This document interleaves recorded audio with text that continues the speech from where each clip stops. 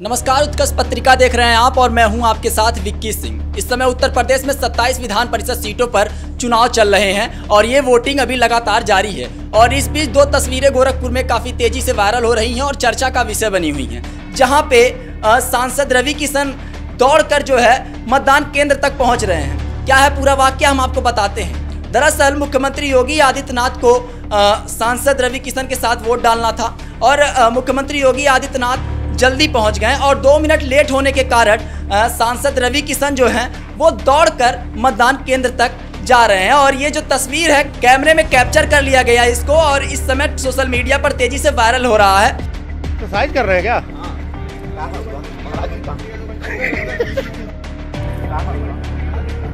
इस तस्वीर में पुलिस के मानवीय चेहरे को दिखाई दिखाया जा रहा है। दरअसल मानवीय चेहरा मैं इसलिए कह रहा हूँ क्योंकि गोरखपुर के भाटाहट ब्लॉक से एक तस्वीर सामने आई है जिसमें अनिल कुमार ने जो कि एक आरक्षी पुलिस कांस्टेबल हैं वो एक बीडीसी सदस्य जिनका नाम है संदीप सिंह उनको जो कि दिव्यांग है उनको गोद में उठाकर मतदान केंद्र तक ले गए हैं और जिससे ये खबर जो है वो चर्चा का विषय बनी हुई है। आपको बता दें इस पे जो है नोडल अधिकारी नोडल अधिकारी ने इस, इस कांस्टेबल को बधाई दी है और कहा है कि जिस तरीके से पुलिस की एक धूमिल छवि बनी हुई है, उसको सुधारने के लिए तस्वीर निश्चित रूप से अग्रसर या फिर अग्रिम होकर काम करेगी। आपको बता दें कि पुलिस और आम जनता के बीच लगातार एक संवाद स्थापित करने के लिए ये काम किया जा रहा है, ताकि जो पुलिस और आम जनता के बीच एक भेद पैदा हुआ है, एक भेदभाव पैदा हुआ है वो ख़त्म किया जा सके। और ये तस्वीर दोनों जो तस्वीरें एक तो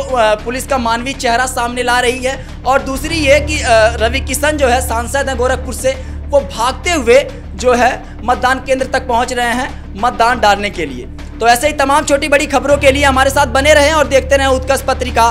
नमस्कार।